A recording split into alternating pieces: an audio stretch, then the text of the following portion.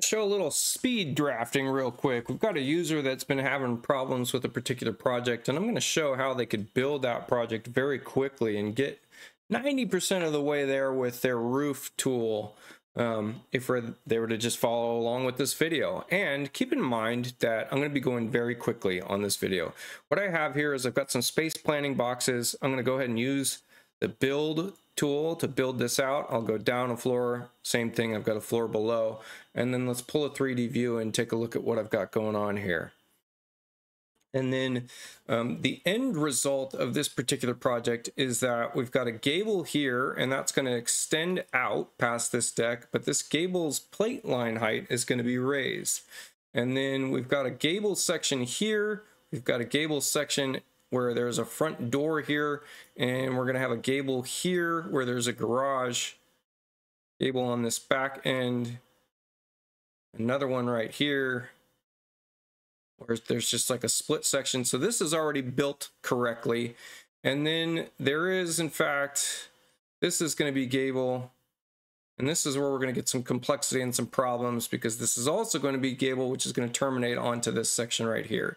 So it's building some kind of goofy things here that aren't really what we want. But I can tell you that just working from this, I can manually edit this very, very quickly. And I'm going to show you how to do that. So let me go up a page and I'm going to go into my working roofs view here. And this is going to show me, there we go, there's my roofs. And I'm going to get into our roof dialog menu, which is in the build roofs section here. So uh, if you're on a PC, Alt B R will get you into this dialog. And then um, actually, I don't even need to do that. I could, in fact, come in here if I wanted to and do a little trick where we throw a window in here. And with that window, I could say that there's a gable over this window and there's an overhang, etc., and then resize the window if I really wanted to trick the software into doing some funny stuff. But the other thing we could do is just get into that alt build roof menu, and then we could come in here with a gable roof line, which is the G key, and just draw that in as well.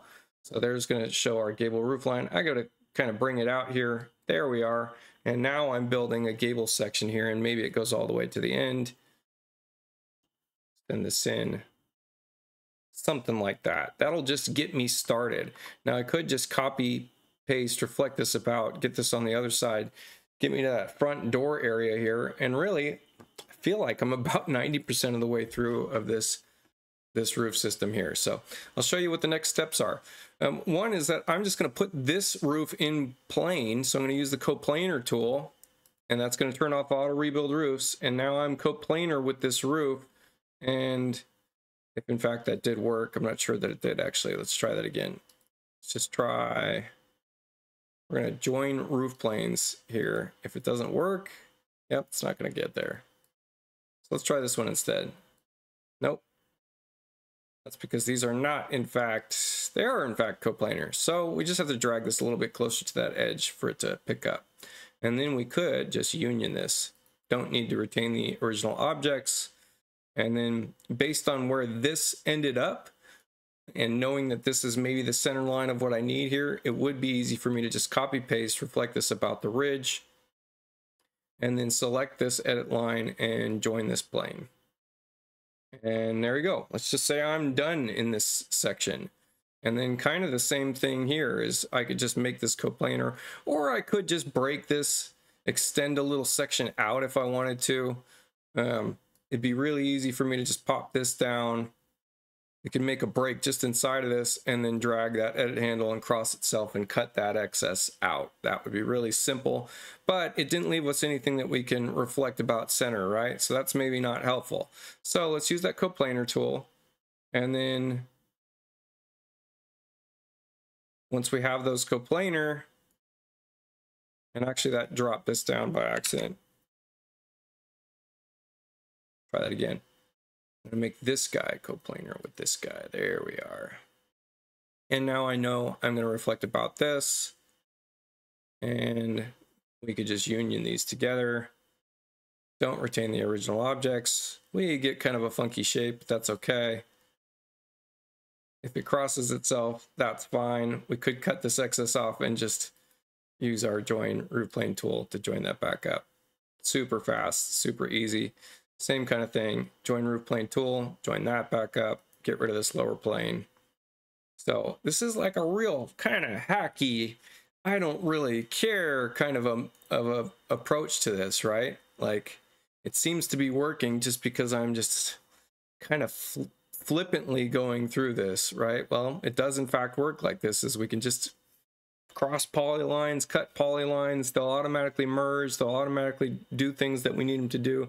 The more you understand how this tool works, it ends up being a really quick and easy tool for doing things. So kind of the same thing here is we've got some kind of weird little funky funky detail here. We could just cross its, you know, cross itself. That's going to cut that excess out right? And maybe we don't care about this. We could also copy paste, paste hold position. Now we've got a copy of this, bring this forward, make a break right here, and we could cut this down on this side, leaving us just with this square, just so we can copy, paste, reflect this about this side. So you can get a lot done in a 3D view with these methods. Same kind of thing, I want to just bring this back, that cut that excess out, copy paste about the center of this deck, and then I can merge these two roof planes together and extend this out over the deck. And then just make sure that this is in fact coplanar with this and union the two. Don't need to retain any original objects. And look at this. We've almost got this section of deck built out super fast, right? Super, super fast. So we've got these two guys. We can merge them together, union them. Don't need to retain the original object. We could kind of stretch this back if we wanted to, and then get this up, kind of snap it, get it close to where it needs to be, and then use that join roof planes tool. And maybe I've got a few extra breaks in here is all that's happening. So when you got an extra break in here, it's pretty simple. You're just going to take one of these and kind of cross itself again, just so you can get this back to where it needs to be. And then try that join roof plane tool again. Look at that. Now there's um, maybe there's an overbuild condition here. We're not sure, but we do have a break on this side. So that means we can just take this and snap that up there and that part's done. And I mean, that's it this is pretty much done. I think actually there was a gable end on this side, so maybe we do have to do something with this. Um, and then this never got unioned, it looks like. Because oh, there's a break in it, that's why. So we could take that, overlap it. Don't need to retain the original. Same thing, kind of cut this. It's real easy once you get used to this little workflow, right? We break right here, cut this across, now you got a flat section that you can snap to itself, right? And then it's going to auto merge collinear and we got to get rid of some excess roof plane or something. Kind of that same thing, just cross itself, cut it out, get it out of the way. Now, if this was a gable end, this would have been a good opportunity to just bring this out like that, right? Till it cuts itself. You could, of course, copy paste, reflect about. Look how crazy this is, right? Cut this, bring this down, that makes it chop, bring this to the corner, and union this.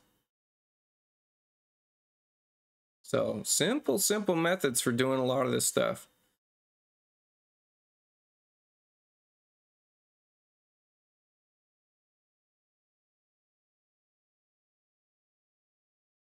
Let's get rid of this. We don't even need, we don't even really need this, do we? We could break it chop it, do whatever, throw this down.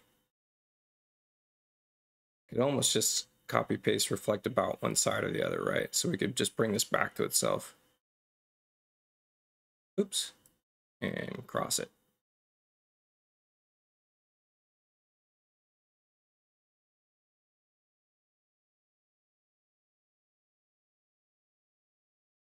Simple, simple, simple, simple.